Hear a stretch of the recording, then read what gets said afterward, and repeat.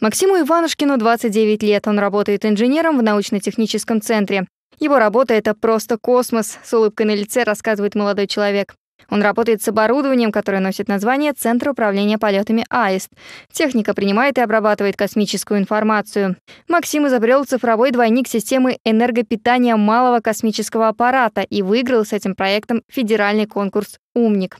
Той базой, которая легла в основу моего проекта, является проводимая на нашей кафедре работа по приему, анализу и обработке телеметрической информации. Цифровой двойник такой системы предназначен для моделирования работы системы в составе космического аппарата, для моделирования отказов, для прогнозирования нештатных ситуаций, Проект может стать полезным разным потребителям. Работы по его совершенствованию продолжаются. Для Максима занятие наукой придает наполненность и смысл в жизнь.